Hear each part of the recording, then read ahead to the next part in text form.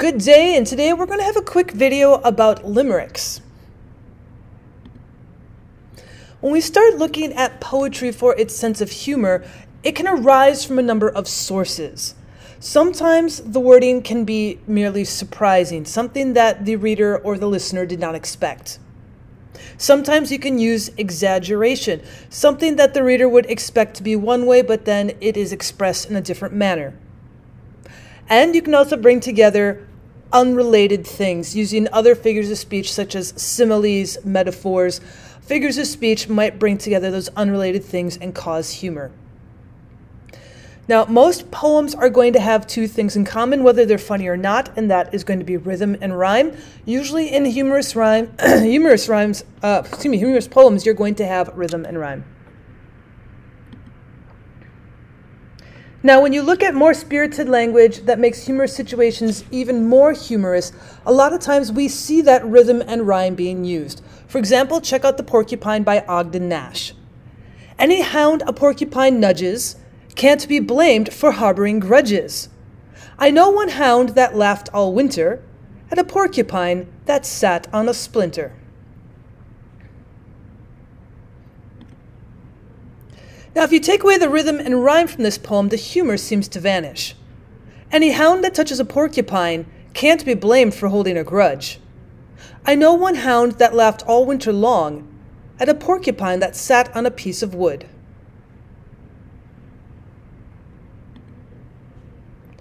Now, when we look specifically at limericks, it's a poem of five lines. Now, the first, second, and fifth lines have three rhythmic beats and they rhyme with one another. The third and fourth lines have two rhythmic beats, and those two lines rhyme with one another. Now, limericks should be light-hearted, humorous poems. Let's take a look at some examples of limericks before you try to write one. There once was a man with no hair. He gave everyone quite a scare. He got some Rogaine, threw out a mane, and now he resembles a bear. How about a limerick about a bee?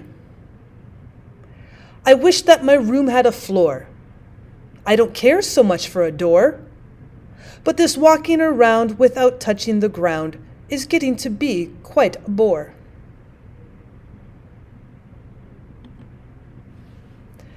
And another limerick about a mouse. There once was a very small mouse who lived in a very small house. The ocean's spray washed it away. All that was left was her blouse.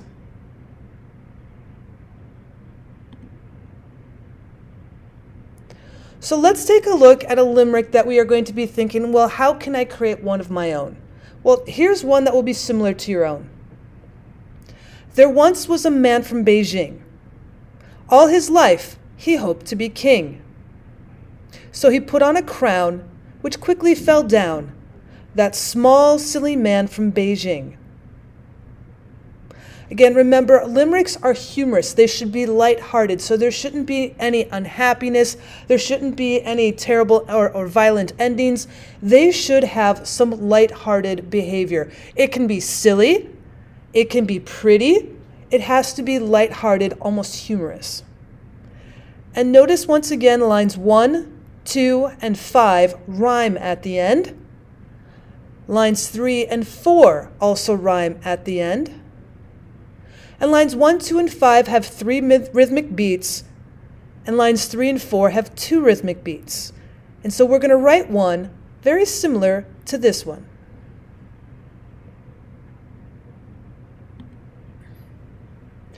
So here's where I'm going to ask you to find your own piece of paper and then fill in the blanks and create your own limerick.